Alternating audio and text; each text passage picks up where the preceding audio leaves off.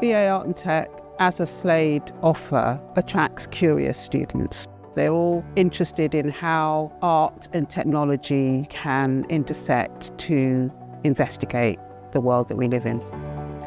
Slade really has been at the forefront of pushing boundaries um, since it started, and this course is a natural extension of that. So I think it's a very important thing to use technology in art because, I mean, I guess art is kind of like this mirror that we hold to the society that we live in, the way life is at that time.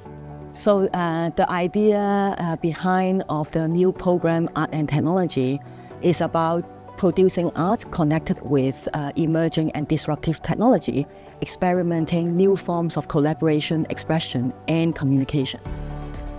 We use technology all the time, a lot of it hardly even knowing that we're doing it. And we would like our students to not only use it, but to critique it, work out how they can use it to disrupt. So by using these digital technologies, you are sort of expanding the art world. There's always new technology coming out. And so this is like new territory, which you get to explore and play with. I chose to study at the Slade because I just knew that it's like a close knit community. The teaching staff at the Slade, they're all amazing people. I admire a lot how caring they are with you, but also how much they're willing to like let go and let you figure out what you want to do.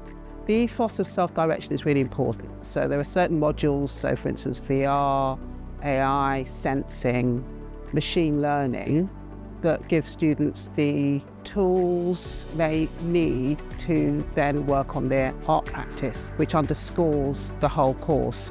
And that's where they will be self-directed, they'll be self-motivated to use those skills to work on their independent art practice. So in that sense, they have to really explore their interests, explore the medium as well as the material as a self-directed learning. So that self-direction really helps you grow as an artist and feel stronger about your practice and know it deeper and what it means to you and what you want to say. The BA Art and Tech course is based at UCL East and I think that the educational and cultural quarter that has sprung up here with UCL East, BBC, Sadler's Wells, the V&A is a really exciting kind of buzz. You're surrounded by some people in other discipline areas as well and it's amazing to collaborate with them and there's so many resources there, not just within your course but in the societies and the people around you. Studying at UCL East feels really different because of the like vast range of like resources. For example, the Institute of Making is amazing and has like endless possibilities in that room.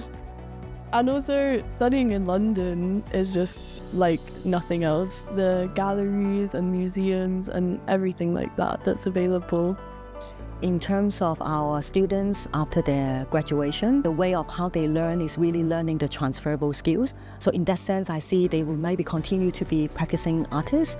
They might be work in the uh, art and technology education sector. And increasingly, we see a lot of cultural institutions that need to do public engagement in a way to promote digital or technological based artworks can really like bulk out that CV because you're learning so many practical skills as well as just having a conceptual maybe art practice. The Slade is an art school led by artists. Previous um, alums such as Paula Rego, recent Turner Prize winners, Jesse Darling and Veronica Ryan, they came through those doors and a degree from the Slade is really something.